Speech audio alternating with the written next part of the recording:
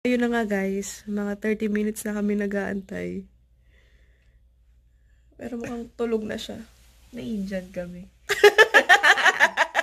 Naiinjan kami ng bride. Nag-prepare pa naman kami. Nag-prepare kami kasi...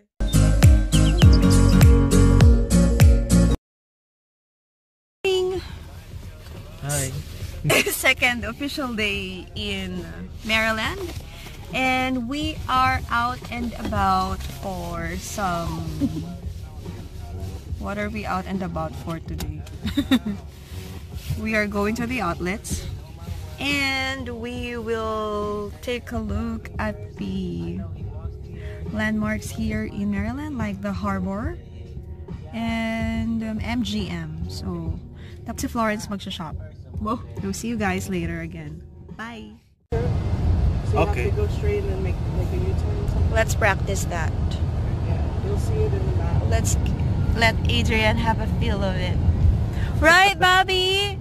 Oh, yeah. How are you? Good. Feeling relaxed? Very. We're here right now waiting on the car for rental. So,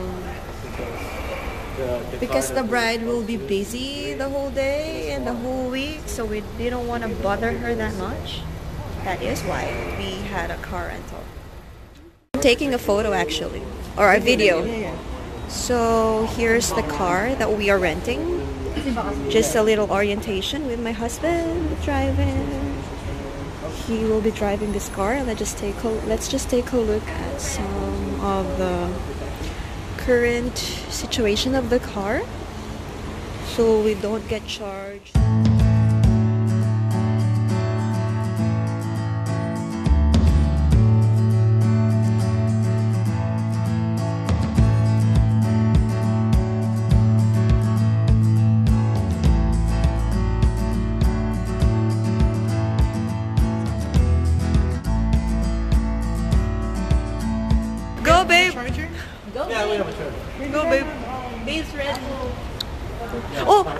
The. Do you have the charger cable for Apple?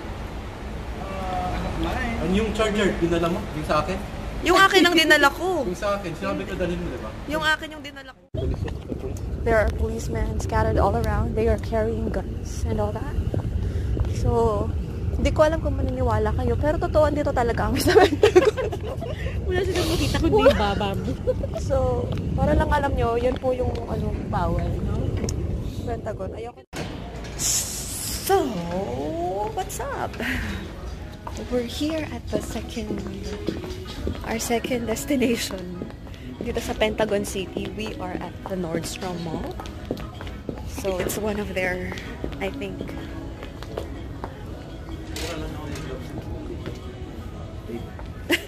Mura yung gloves. Yung UGG. Oh yeah? Magkano?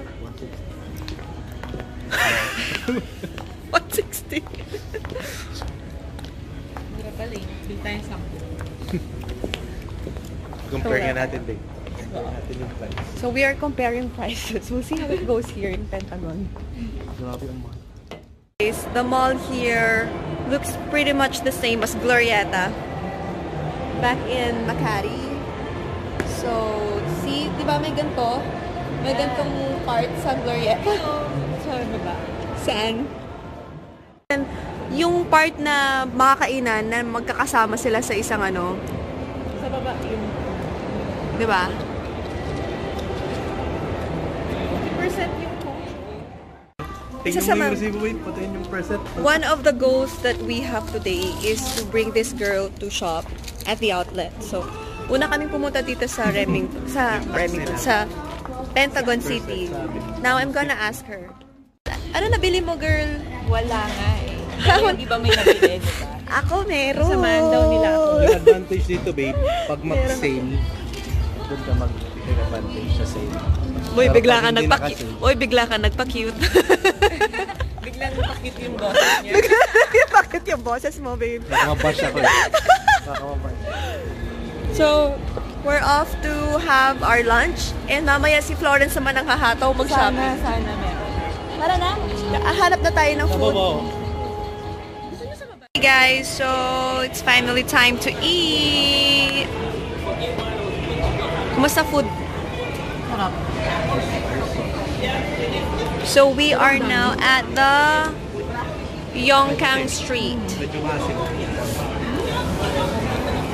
Gusto mo mag-try?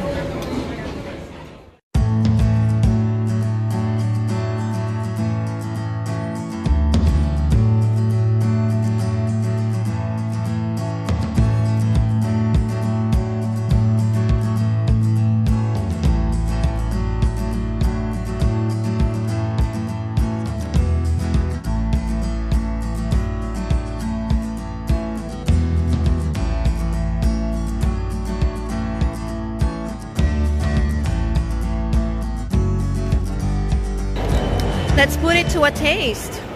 Careful, careful. Gusto ko na rascalin. Anybody? Hey, Ikaw muna, dali, tikman mo. tinikman ko na to eh. Huwag kang naglalakad. Ba't ka naglalakad? It's good. Sorry.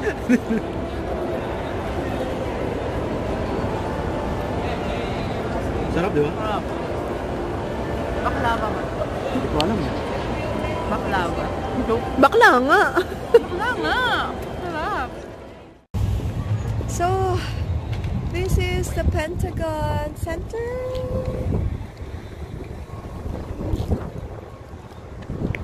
Tapos na yung shopping, konting shopping, and exploration of the Pentagon. So we're about to get back to our car.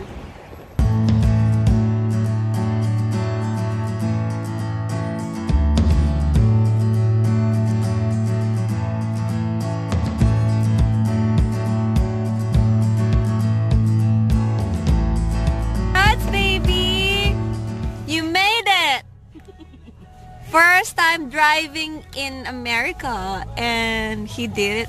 Pinaban si Florence sa van.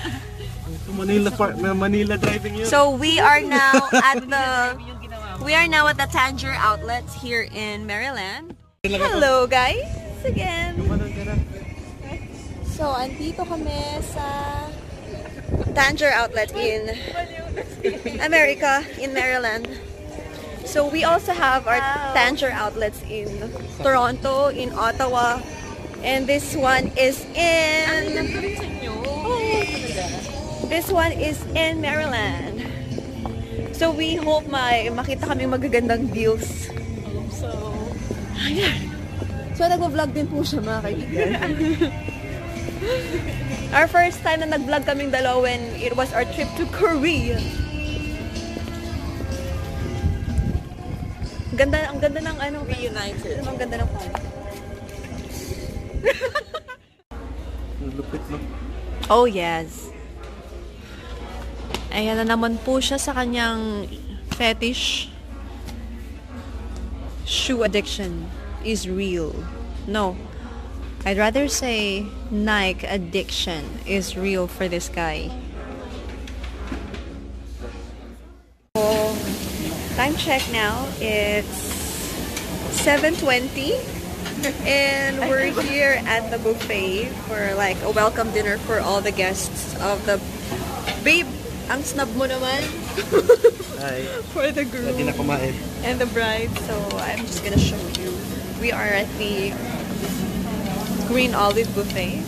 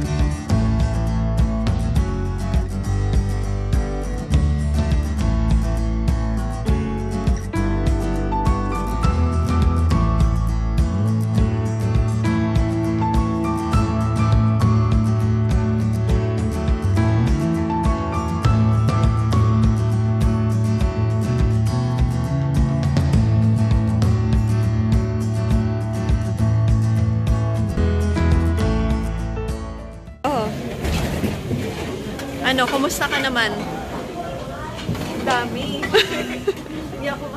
Confused ka na? Okay, so we have a pahabol na little something for the bride.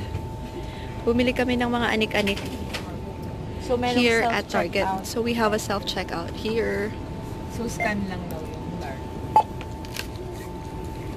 Okay na ba yun? Yeah. where is it? Dito. So this is how we do it. We are trying to prepare something for the bride. Ay, busog na busog ang Pilipino sa Maryland, guys. Totoo yan. So we paid over the self-checkout as well. And then it gives the change. And So, super nice. super convenient. Dahil galing ako sa third world country. Yeah. Sobrang amaze ako. wala nang traffic ako. So, done na kami. I-ready na lang namin yun later. Ay, pwede one. Then, uwi muna kami sa bahay ni Namay. We're gonna get our things and then get checked in in the hotel. See you later. Good evening, guys. Time check. It's now almost 12 o'clock and we have reached our hotel. Ah, Medyo natagalan kami sa pag-impake and I'm giving you a slight room tour to the Gaylord National Convent. Ganda ng name, guys. Gaylord. Guys, let us start with a bathroom. We have here the tub. We have the tub. And then we have a whole body mirror. Mm. Oh, yan. Okay na sana eh. At least may Hello. Hello, hello, hello. And then sir, welcome to Game we have two beds. we have two a pleasure having you with us here. Ayan. Enjoy your stay and have a great day. So, yep, we are Tapos here. nakalagay, can you give me some tip?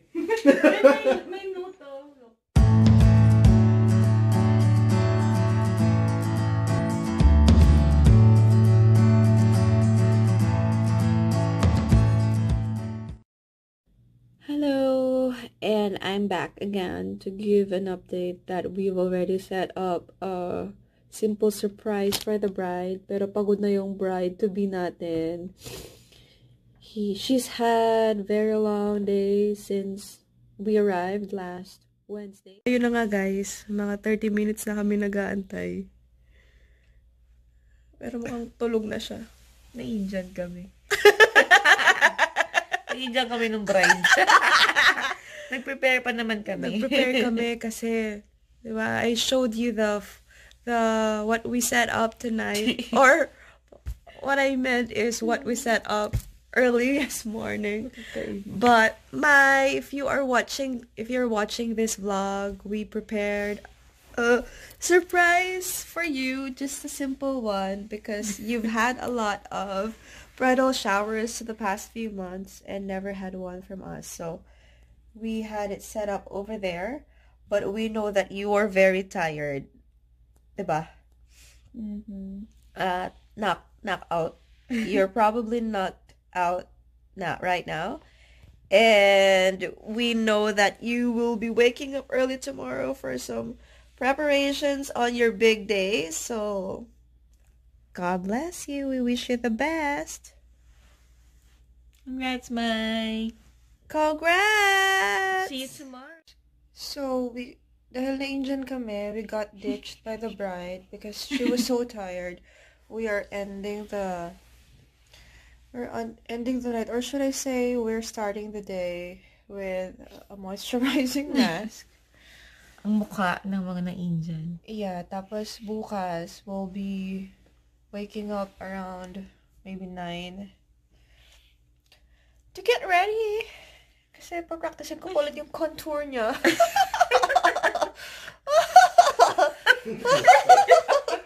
Hirap tumawa. really can you really can move a lot. You can move your face a lot with this mask. So you have to leave it here in Ang saya about kasi naka, ano siya sa ears. 10 to 15 minutes siya dyan. Just leave it on. So, we're ending the vlog for today. Good night, guys, and we'll see you tomorrow for the wedding.